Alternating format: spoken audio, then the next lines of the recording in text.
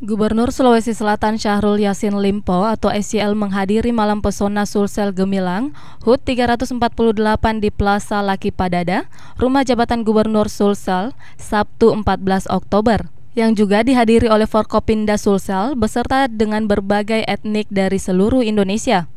Kepala Dinas Tata Ruang dan Pemukiman Sulsel Andi Bakti Haruni mengatakan, ada beberapa yang diresmikan oleh gubernur yakni Plaza Prof. Dr. Haji Baharudin Lopa SHMH, Plaza Laki Padada, dan Plaza Jenderal M. Yusuf. Pembangunan plaza ini merupakan bagian dari revitalisasi rumah jabatan gubernur yang menelan anggaran APBD 2017 sebesar 10,8 miliar rupiah. 8 hektar atau 26.800 meter persegi. Dan yang kami tangani adalah sekitar 17.200 meter persegi.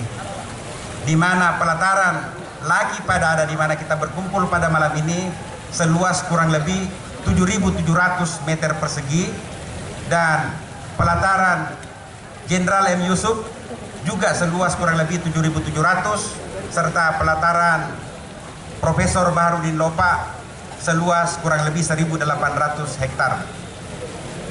Dengan dukungan dana dari anggaran pembangunan daerah APBD pada tahun 2017 sebesar 10 miliar 800 juta lebih kita bisa mewujudkan apa yang menjadi perintah dari Bapak Gubernur.